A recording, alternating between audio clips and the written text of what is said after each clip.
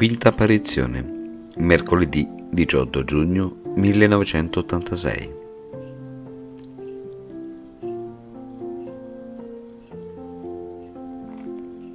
Figlioli miei, mi compiaccio per le vostre preghiere, esse sono molto utili alla vostra anima. Continuate a pregare per la conversione del mondo. Io dico al mondo, convertitevi e sappiatelo fare in nome di Gesù. Ormai non c'è più tempo per curarsi del corpo, pensate alla purificazione della vostra anima. Correte da Gesù nell'Eucaristia, Egli è la vostra salvezza.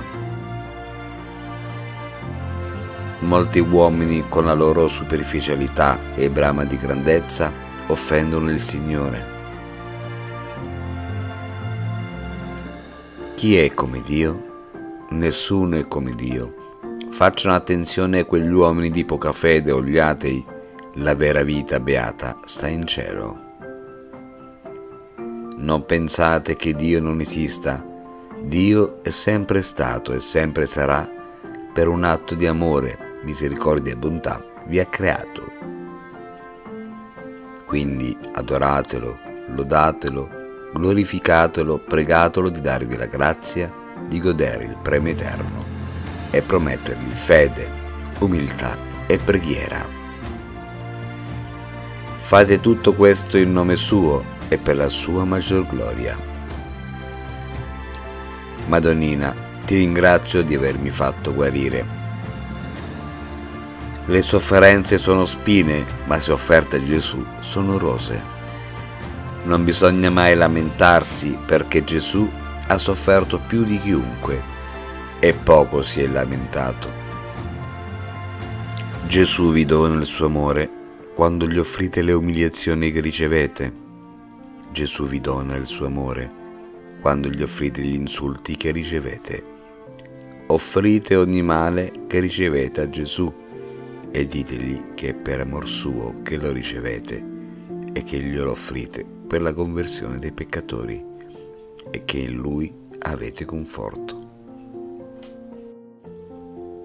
Madonnina, mi avevi promesso che mi avresti rivelato alcune cose. Con quale titolo ti presenti? Io sono la regina della pace e desidero rivelare al mondo il mio amore. Il mio cuore è tanto addolorato e per far conoscere il cuore immacolato della Regina della Pace mi servirò di te.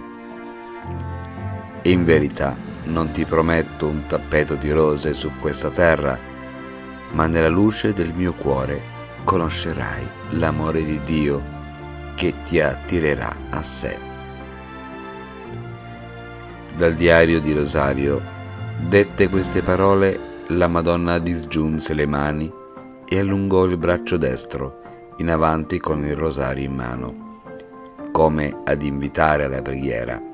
Il sinistro lo piegò un po' in segno di protezione. Dal centro del petto della Madonna usciva un grande bagliore e dopo vidi il cuore della Madonna circondato da tante spine che dal di sotto si aggrovigliavano come un cespuglio.